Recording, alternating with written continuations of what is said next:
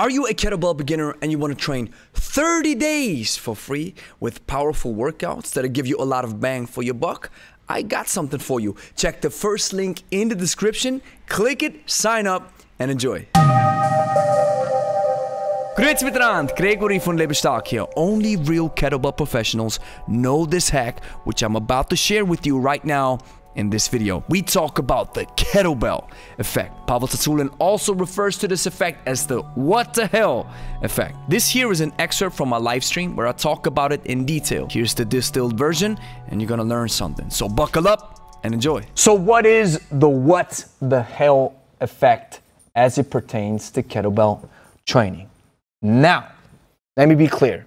I don't like this description. It implies that there is a surprise. I do understand that back in the days when Pavel came up with this term, that it wasn't widely experienced for that matter. But now we have progressed. Now we are in a different era. That is the reason why I call it the kettlebell effect. Now, the kettlebell effect is a byproduct of proper and regular kettlebell training. And let me stop right there. What do I mean with proper kettlebell training? Mostly ballistic exercises such as the swing, the clean, the snatch, or the jerk. I believe this effect on this phenomenon will crystallize itself after longer periods of time. What I'm trying to sell you and what I'm trying to share with you and what I want to give you is training that you will do until you are six feet under. That's why I consider it a regular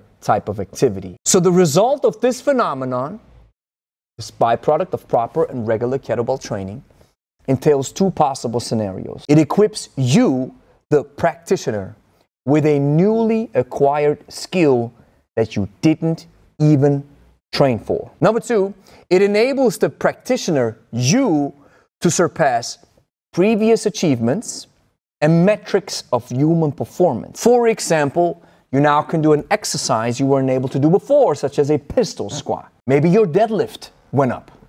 We've heard this a lot. Now I'm able to lift more. Maybe your running speed increased. You used to be the tail light in your group, and now you're running front and center or even in the pole position. But why is that? I think it lies in the ballistic element of kettlebell training. What now follows, what I'm going to present to you, is my personal theory based upon the findings of Dr. Yuri Verkhoshansky, which is a Russian sports scientist. I've read two of his books. Just for you to understand, Yuri Verkhoshansky pioneered plyometric training. Dr. Yuri Verkhoshansky says we can divide resistance exercises into two groups. We have group number one, exercises in which the working force is developed after preliminary muscular tension. This sounds very fancy, but it's easy. Imagine a heavy deadlift with a barbell. You have the barbell set in front of you. You have 200 kgs on it. You are about to test your PR, your personal record. You grab the barbell and you build tension. You get ready to lift. This is what we call preliminary muscular Let's jump into group number two. These are exercises, listen closely, in which the working force is developed from zero or from the inertia of a falling object. Now imagine a kettlebell swing or even better, a kettlebell snatch, right? We pull the kettlebell between our legs into the backswing. Then we hip thrust the kettlebell forward. The kettlebell starts flying. I pull it overhead approximately at shoulder level, and then I fixate the kettlebell in the so-called top fixation. Now when I drop it, I let gravity do its thing. And what happens? I am not building preliminary tension. I wait for the arm to reconnect with my body. And as soon as the arm makes contact with the body, my muscles have to react from zero. The main difference between these groups of exercises, picture in your mind, we have the heavy deadlift on one side, we have the snatch on the other side. The main difference between these two is that the first group, the heavy deadlift group, does not provoke an appreciable influence on the so-called muscle excitation tension link. Consequently, depending upon the amount of weight or the training modality used, conditions In the first group, which is the heavy deadlift, think about the heavy deadlift, are created chiefly for the development of muscular strength. And I think we can all agree on this, right? Stronger with a heavy deadlift, a heavy squat, a heavy bench, and this is awesome. Do not conflate or do not think that I'm saying one group is better than the other. But here it comes. The deadlift does not develop the speed with which the muscles switch from the non active to the active state. And now let's consider the four tenets of strength because you want to understand this and on a deeper level. We have, for example, force is mass times acceleration or how much energy can you put into an object? How much can I squeeze that thing, right? This is force. Work is force times distance. So, in other words, how far can I effectively move that object? It's not just how much energy can I put into it, but how much energy can I put into this object and move it? Power is work divided by time. So that means how much energy can I squeeze into a given unit of time or into the shortest amount possible. Now let's focus on power. For example, a power snatch, right? You have these 200 kilograms on the barbell on the floor. Now you want to bring this monster overhead. This is power. You have to act quickly. Nobody's doing a power snatch like this. Uh, because the weight is going to crush you. The conditions of the muscular work in the first group, the heavy deadlift, remember the heavy deadlift, have the potential to develop muscular strength. We know this, right? So a heavy deadlift builds strength. Yes, we got this. This is the first group. The conditions of the muscular work in the second group, what does this build? Dynamic strength, speed of movement, and chiefly starting strength. And what is starting strength? It is simple. Instantaneous development of muscular tension, quick and fast, is due to the extra mobilization of latent motor resources. This develops starting strength. And what is starting strength? Explosiveness. And these are exercises from the second group the snatch, the jerk, the swing, the clean. If we have conditions where strength resists the weight of a load, you build strength. When strength is directed against the load's force of inertia, the kettlebell, as it drops between your legs, this stimulates the speed of muscular contraction, your power. Ballistic kettlebell exercises, now, this is my opinion now, my theory, belong into the second group of exercises, according to Yuri Verkhoshansky, where strength is directed against the load's force of inertia. This stimulates power development. I just showed you a, a, a or a taught you or I explained a principle or an example of the double jerk. And I'm gonna give you a real life example about this, and I see this with our clients in the gym. It takes them a couple of milliseconds until they are able to tense their bodies. Why?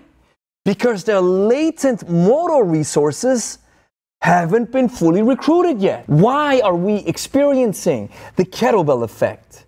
And here is the point most people who work out, and I'm not talking about the kettlebell community. I'm not talking about you and me. I'm talking about most people who work out on this planet Earth, which is what? 1% or one even smaller than 1%, right? 99% of people do not really train on a regular basis. And those that do, that's not us. We are a small minority.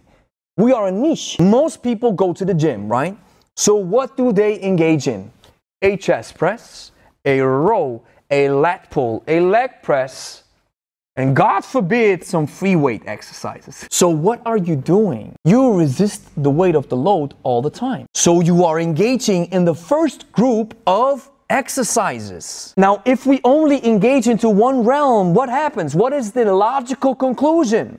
It leaves the realm of power development untouched because you always do the first group of exercises and you never engage into any ballistic exercises at all. Because, why? Well, we can talk about the why for a second. Because they're advanced and you need a coach to show you how to do stuff. And here it comes.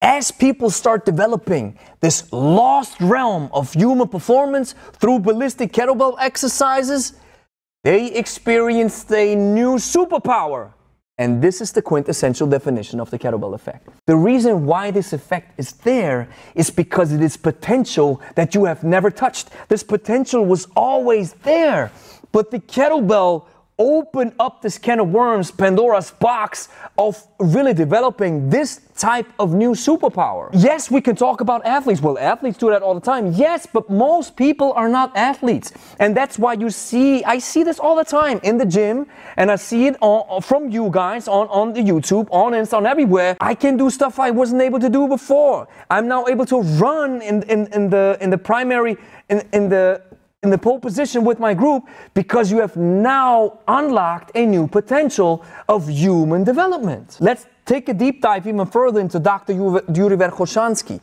He based his findings, the stuff that I'm sharing with you right now, which I have to admit and I have to say this, I'm just touching his findings on an incredibly superficial basis. He developed a method out of his findings that he calls the shock method. And the shock method includes plyometric exercises such as depth jumps. And research from other coaches, such as Pavel, as well as countless anecdotal evidence, provides me enough evidence to believe that the kettlebell has a similar, if not even better, effect on the body than depth jumps. Because jumping, as we all know, is something that isn't easy. You might be thinking, well, that's easy. No, it's not. People really have to understand how to jump, especially doing depth jumps, where you jump from a higher entity or from a higher distance down catch the weight, and then jump back again. This is this is big stuff. I'd rather have you do a hand-to-hand swing. Way less effects on the joints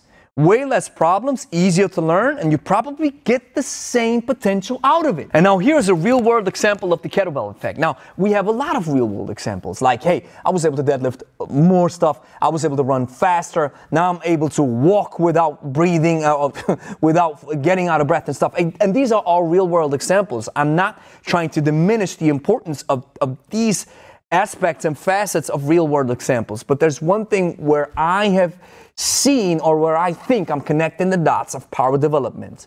Now, a good friend of Angie broke her wrist because of her dog. How did this happen? She was walking with her dog. She also have a she also has a English Staffordshire Bull Terrier like Gypsy, and his name is Chapo. She was walking with Chapo, her little Staffy. He saw another dog on the other side, and she was walking with him, and they they were, I think, got in close contact or whatever. So she kept walking, and all of a sudden, Chapo, the little Staffy, pulls on the leash with so much velocity and aggression that it broke her wrist. And one thing that you have to understand about Staffies is our boy Gypsy, he's 22 kg weight that's a lot of weight on a small frame, a lot of dog on a small frame. He's very close to the ground, so he's very aerodynamic. And if he digs himself into the ground, you have a hard time picking the boy up or directing him. My Staffy, Gypsy, will never be able to accomplish this in my case. Why? Because my reactive ability